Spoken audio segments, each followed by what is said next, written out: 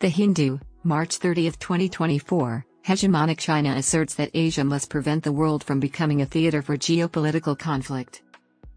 At present, China's hegemonic ambitions pose the most significant global menace. Mr. Zhao, chairman of the Standing Committee of the National People's Congress, NPC, delivered a speech during the inaugural session of the Boao Forum for Asia, BFA, Annual Conference 2024. The BFA is a global organization comprising 29 member states, many of which are Belt and Road Initiative, BRI, leaders from nations like Sri Lanka. During the same session, Sri Lankan Prime Minister Dinesh Gunawardena stated that with China's assistance, Sri Lanka's port development has taken an advanced turn and will change the current situation. After discussions with his counterpart in Beijing, the Prime Minister of Sri Lanka announced the day before that China had promised to improve the island nation's crucial deep sea port and the airport in the capital, according to AFP. The Port of Colombo will serve as the focal point of a newly developed port that will offer financial instruments capable of meeting the escalating needs for investment and development within our nations, which is vital. This will shift the current situation from East Asia to East Africa, and we eagerly anticipate the blue seas that may arise in the future due to a prosperous and remarkable joint program, Mr. Gunawardena stated on March 28.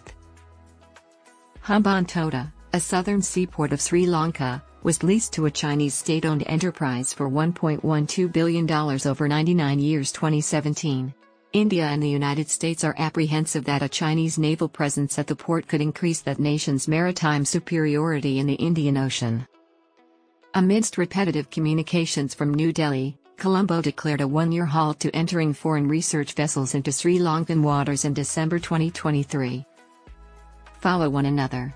According to Mr. Zhao, Asia and nations have a commendable history of assisting one another during challenging periods, and they have successfully surmounted obstacle after obstacle in their quest for progress. China's leading legislator, Zhao Leji, stated on March 28 that all nations are welcome to board China's express train of development and that preventing the world from becoming a theater for geopolitical fighting is crucial, given that Asia has endured both hot and cold wars. At this time, when division and conflict are favored, it is critical that we maintain our independence, seek strength and unity, and continue to walk hand in hand. He stated, We ought to collectively denounce unilateralism and self serving strategies, reject side picking and block confrontation, and prevent this region and the world from transforming into arenas for geopolitical conflict.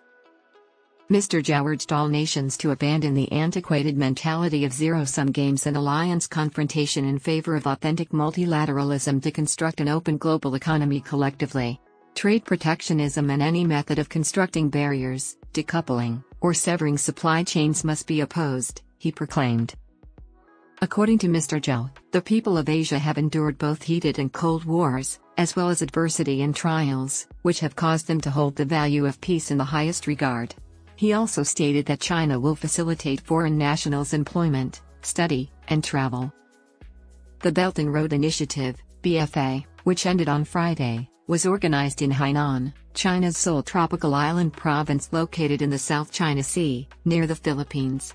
This occurred amid an ongoing dispute between the two nations.